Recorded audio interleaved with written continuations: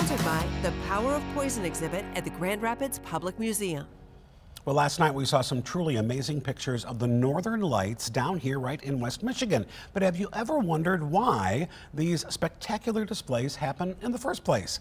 Meteorologist Michael Behrens joins us now to explain why. Hey, Michael. Hey there, Kirk. Yeah, some truly awesome photos that were sent in from across West Michigan last night. This picture from the Cadats in Ionia County showing the auroras that just got started really in full swing here. This photo from Margot in Holton. Uh, another great photo from Renee in Barryton and they just kept coming. Ellie in Pierson and also Heather in Big Rapids catching great photos of the aurora last night. But like you said, why do we even get to see these here in West Michigan? Well, it all goes back to what's going on in space. The Earth is surrounded by a magnetic field, and this is a good thing because it protects us from the charged particles, the solar wind coming off the sun. Those particles follow this magnetic field around the Earth, and instead of hitting us directly where most of the population lives, they come in at the poles where the magnetic field is the weakest. Now that energy coming in at the poles does cause some fun effects. It excites the particles in the atmosphere causing those beautiful auroras